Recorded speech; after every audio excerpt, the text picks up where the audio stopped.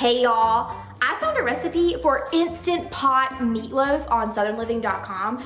Now, my mama is known for her meatloaf. I ate it all the time growing up, but she has never used an Instant Pot before, so I decided to flip the tables and see if she could make meatloaf in an Instant Pot. Let's see if she can do it. Okay, mama, on a scale of one to 10 for this Instant Pot meatloaf recipe, how confident are you? Oh, maybe a six. Maybe a six? How scared are you to Ooh. use an Instant Pot? Maybe a 10. Well, we're gonna put you to the test. So you're known for your meatloaf recipe, but we are not gonna use yours. Okay. We're going to follow the trusted Southern Living Test Kitchen meatloaf Instant Pot recipe, mostly because Instant Pots are a little bit finicky, which is why I'm really excited to watch you do this. um, and so this one is tested and we know that it works in the Instant Pot, so I don't wanna, I want to make sure I set you up for success. Okay, that sounds good. All right, okay, are you ready to get started? Let's do it. Okay. Okay, here's how this is gonna go down. I'm going to read the recipe off to you on your computer or on my computer, and then you're just gonna do it. All right. Can you do it? I think so. If you need a lifeline, I'll come in and I'll help you. Oh, that sounds good. I'm probably gonna have to call you. Okay. okay. First things first. Gently stir together beef, eggs, garlic, onion, panko. Can you do all that? Yeah. Mix it, gently stir, be careful not to overmix. So far, so good? Yep, I got this part. Okay, are you ready for the next step? I am. This is where it gets froggy. Okay. Um, so normally you put meatloaf in a loaf pan, but we're not doing that because we're putting it in the Instant Pot. Okay. So here's what you're gonna do. Form mixture into an eight by five and a half inch loaf. Can you do that? Yeah. That looks pretty good to me. It's like loaf shaped. Yeah. Okay, now you're gonna place the loaf into um, a large thing of aluminum foil. Okay, now fold up the sides of the foil to make a secure nest for the meatloaf. You want the sides to be high enough so that the moisture won't spill out. It stays open or I close the whole thing? You you don't cover it, but you make like a you're making like a loaf pan out of foil. Oh, okay. Okay. Okay, you feel good about that? Yeah. No moisture is gonna seep out of the sides. Uh, I'm not sure about that. Not gonna promise it, but it's kind of good. Okay, all right. I feel pretty good that you're gonna be able to get this next step. Stir together ketchup, Dijon, and vinegar.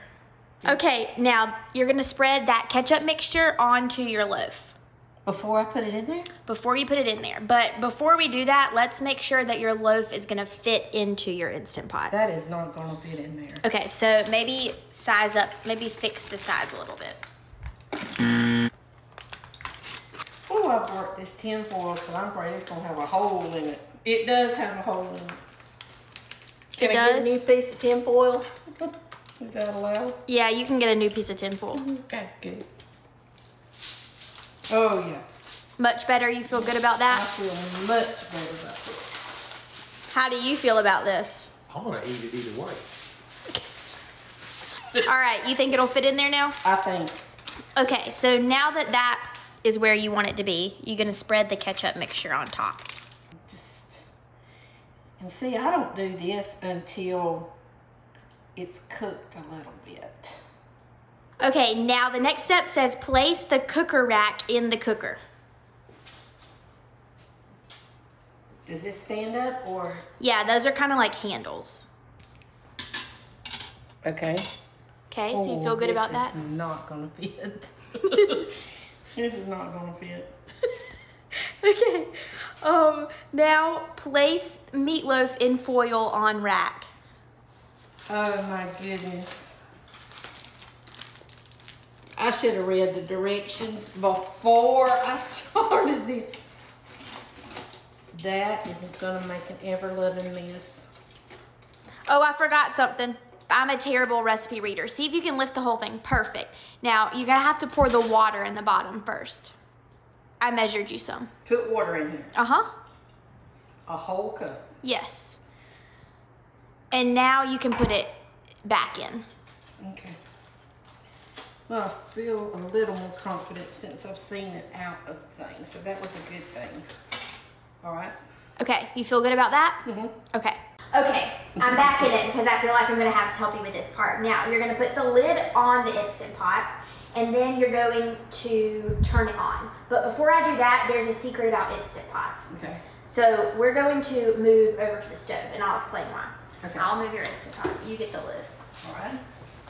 So I don't know how much you know about Instant Pots. Have you seen all over that they the steam is ruining people's cabinets? I have seen that. Okay, well that's because this thing vents, so it's like a pressure cooker where it releases Yeah. steam, and so this, if you put it underneath your hood vent or your microwave, you can like whenever it's releasing, you can turn that fan on, and it helps push it out. So Good idea. in the instant of you not wanting to do that, we're gonna do it over here. All right, now put the lid on the instant pot.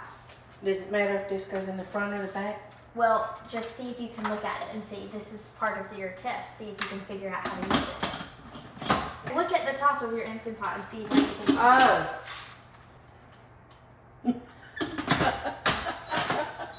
Okay, good. Okay, now turn the valve to sealing. Now you want to turn it on manual Manual. uh, and make sure that it's on high pressure. So you have your, yep. Okay. And now you want it for 25 minutes. So you're going to do this until you see 25. Okay? And then that's it. Just- The thing about Instant Pots is 25 minutes. It's so scary because you didn't press start, you didn't press go, Yeah. and then you have to wait and it turns on.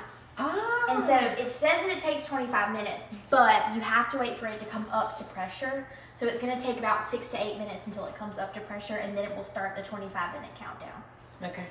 So we put the Instant Pot on. The Right. meatloaf is in the Instant Pot. What are your thoughts so far?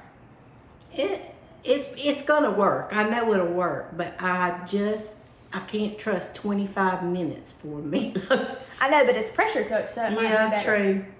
Okay, the timer just went off. I'm scared. um, you have to turn the steam valve to venting, and then it's gonna release on its own. But it's kind of scary, so I'm gonna let you do it. But first, before we do it, make sure you turn the microwave fan on so that we vent perfect. And now you need to get a long stick. Now you're gonna need to turn that thing towards us carefully. Yep. Is this gonna be spewing on me? It spews up in the air.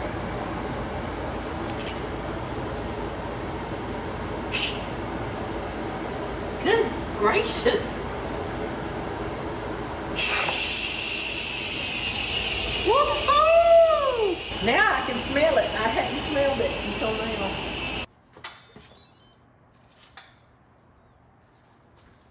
Woo!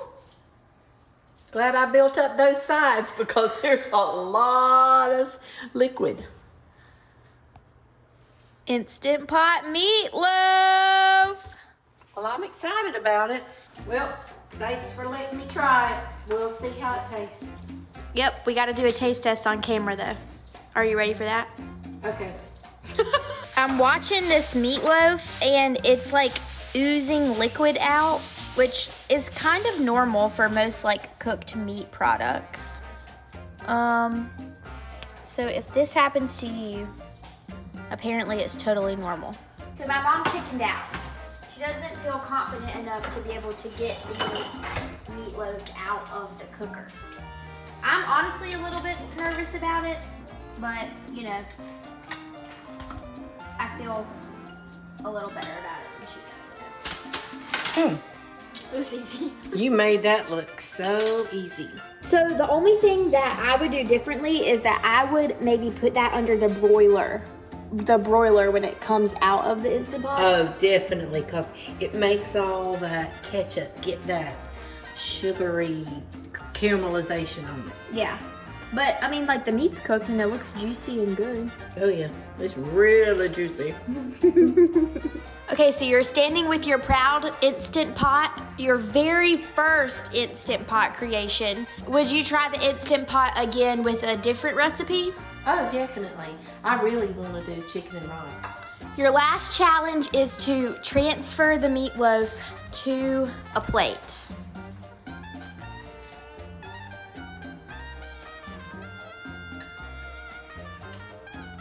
Ta-da! Cheers. Mm. Oh, Cheers!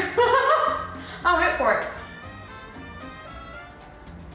It's not bad. mm. I miss the green bell pepper. To me, that's what makes meatloaf. Yep. I like the vinegar and the ketchup. I do too. I actually I do. I do want to get some caramelization on top though. Yeah, in the broiler would be good. We can make meatloaf sandwiches, like you said. Oh yeah, Put it kind of like a patty melt that'll be good. with extra ketchup. Extra and I- mayonnaise. Oh yeah, and mayonnaise, of course, though. Duke's. Well, I think my mom did amazing Thanks. her first ever Instant Pot creation. If you like this video, be sure to give us a thumbs up. My mom would like a thumbs up. For more cool Instant Pot recipes, be sure to subscribe to the Southern Living YouTube page. We will see y'all next time. Bye y'all. Bye y'all.